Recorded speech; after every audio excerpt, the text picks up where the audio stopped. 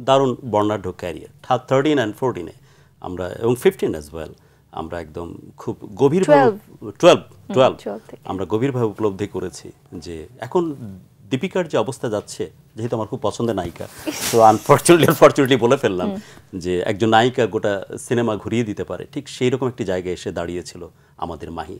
এই অবস্থা film industry এই অবস্থার মধ্যে ঠিক সেই সময় পোড়ামনের মতো একটা মুভি এবং তার একটা যোগ্য গর্বিত অংশ অংশীদার হওয়া। সেই পোড়ামন রিলিজড হলো ঈদে। কতখানি পড়তেছে? না বা আমি ডিপ্লোম্যাটিক অ্যান্সার চাইব না। আমি আমি সব কারণ জানি বিগিনিংটা দেখে ডিপ্লোম্যাটিক মনে হচ্ছে তাই আগে থামিয়ে দিলাম।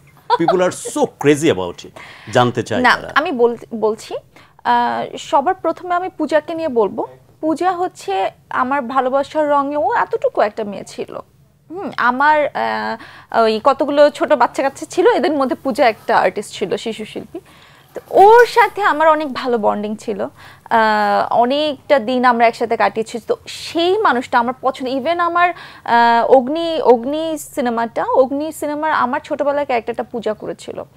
তো সেই মেয়েটা আমার পোড়ামনের পোড়ামন টুতে সেই মেয়েটা হিরোইন হয়েছে। তো এটা আমার একটা ভালো লাগার জায়গা।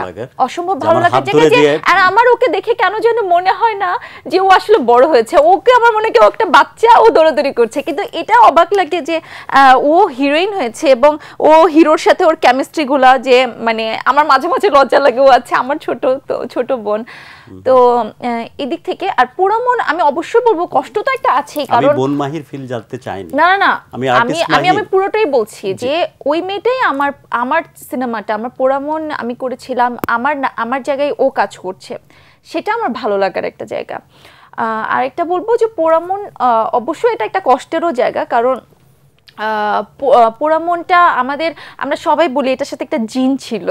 হ্যাঁ যে হঠাৎ করে এটা একটা হিট হওয়া শুরু হয়ে গেল এবং এটা নয় দশ সপ্তাহ চলছে।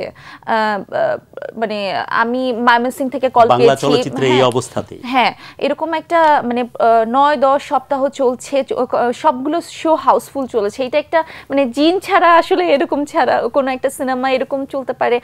আমাদের তাও আবার আমার সিনেমা একটা চলবে। এটা আমার কাছে একটা বড় ব্যাপার ছিল। তো সেই সিনেমা পোড়ামন টু আমি সবসময় ড্রিম দেখতাম এটা আমি করব।